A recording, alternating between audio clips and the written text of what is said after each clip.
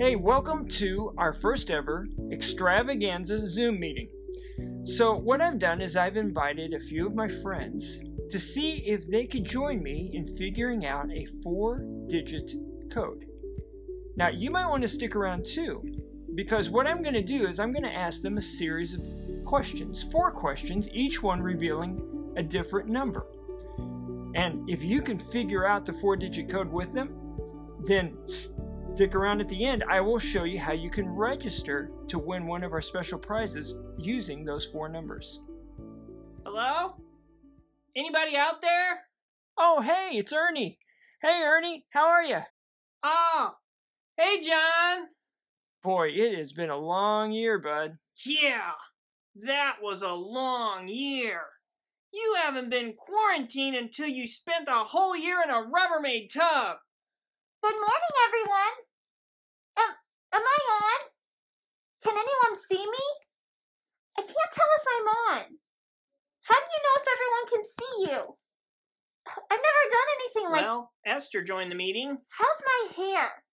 I didn't get a chance to shower this morning. Oh, Esther, your hair is fine. You look great. Well, that Rubbermaid tub is murder on your hair. We interrupt this program to bring you a special report from the outer galaxy. Hey guys! Hey, Grady. How's it? Grady, what are you doing? I'm going where no puppet has ever gone before. Really, Grady? Oh, hey, it's Grandma. Hi, Grandma. How are you doing? Uh, I think Grandma's muted. Yep, and I don't think she knows she's muted. Grandma? Grandma! Oh boy, she has no clue. She's not real good with technology. Esther, you can take your mask off. I don't think anyone's in danger of catching something from you. I mean, you've been locked up in a Rubbermaid tub for the last year. Plus, you're a puppet. You know, no respiratory system. What? Oh, I guess you're right. Oh, that's so much better. My breath was killing me. Okay, I messaged Grandma that she's muted, but um, we need to get this meeting started. So, anyway, as I was saying, extravaganza. The... What's that crunching sound? Grady? Are you eating something? No. Oh, no. It's just my mid mid morning snack. Grady, how about postponing your mid mid morning snack? Just so we can hear everyone? Oh, okay. I, I guess I could wait until my mid morning snack. Thank you, Grady. Thank you. Okay, so as I was saying, for extravaganza this year, we are going to be giving away some special prizes. Ooh, what kind of special prizes? Okay, well, there's going to be things like a new bike that we'll give away, and some Washington pool passes and fair passes, some Cardinal baseball tickets, uh, movie tickets. What do you have to do to get one of those prizes? There are four numbers you guys are going to have to figure out. And when you figure them out, you're going to text those four numbers to a number I'm going to give you here in just a minute. And when you do, that will register you for that special prize drawing. So, how do you figure out the numbers? Well, it's Easter. And so I'm going to ask you four questions about the greatest event that ever happened in history. And the answer to those four questions will tell you each of the four numbers in order. Think you guys are ready to figure out the four numbers? Of course. Okay, so first question. Here we go. The night before Jesus was crucified, on the cross, he met with his disciples and told one of them, Peter, that he would deny him how many times? I know, I know. Three times. That's right, Esther. Great job. So, does that mean the first number is three? You're catching on, Ernie. All right, now, second question. Those who hated Jesus and didn't believe that he was the promised Messiah sentenced him to death along with how many other criminals? Oh, I'm sorry, Grandma, you're still muted. How many are you saying? I, I I don't know what she's saying. I know. There were two criminals crucified with Jesus one on his right and one on his left. Right? You got it, Ernie. And you see, the difference between the two criminals and Jesus was that, well, the two criminals deserved their punishment for their crime. But Jesus didn't. He didn't do anything wrong. He never sinned. Okay, we got two numbers, three and two. So, next question? Okay, this one's going to be harder. You ready? So, when the Roman soldiers forced Jesus to carry the cross that he would be crucified on up a hill called Golgotha, how many soldiers were there when Jesus was being crucified? What do you think? Uh, one, No, Esther, not one. two, No, no, not two.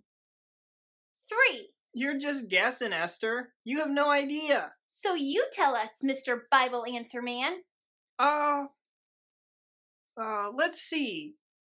Well, based on the size of a typical Roman cohort and what was needed for a typical Roman crucifixion, I believe it was about 180 soldiers, give or take. Uh, not quite, Ernie. The answer is four soldiers. That's right, Grady.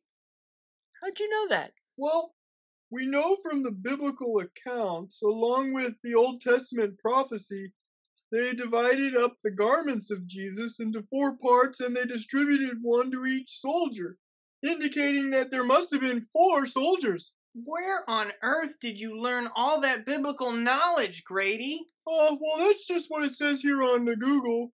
Hey, that's not fair.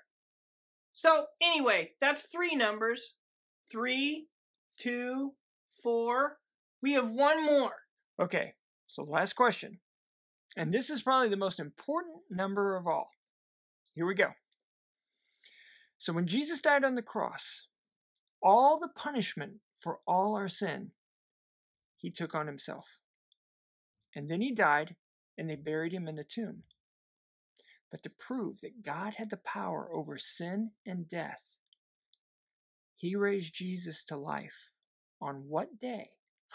Oh, I know. Pick me, pick me, pick me. Three! Can you hear me? It was three! Jesus was raised on day three, I tell you! Can anyone hear me? Hey, we can hear you, Grandma. Blasted computer!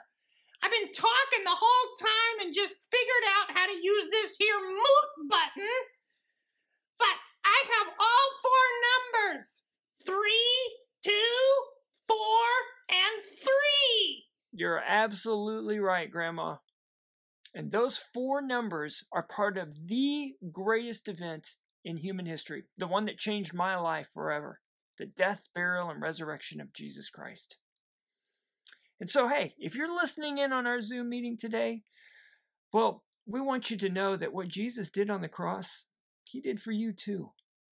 You are so loved by God. But you know what?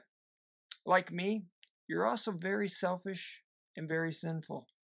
And sin leads to death, and God hates death and He hates sin. But He loves us more. And so, He sent His only Son, Jesus, to die on the cross for our sins. And then He raised Him to life on day three so that you too might be raised to everlasting life. The Bible says if you call upon the name of the Lord, you will be saved from your sin forever.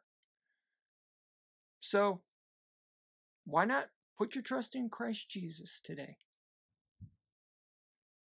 That's what Easter's all about, guys. So, that ends our first Zoom meeting, guys. Boy, I'm glad you got to join us. I guess I'll see you next time, huh? That was fun. Bye, John. And bye, everyone. I don't know when we'll get to see each other again. Esther, you're in the room across the hall. I'll see you in about 30 seconds. Bye, everyone.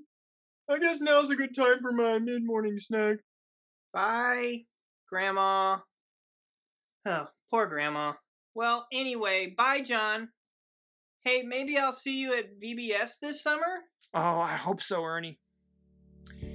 And bye to all of you, and thanks for joining us. And don't forget, here's all you need to do to register for one of our special prizes. Just text the word drawing, followed by the four digit code and your last name to this number 94000. That's all you got to do, and then you'll be registered. I guess for now, that does it. See y'all later. Bye bye.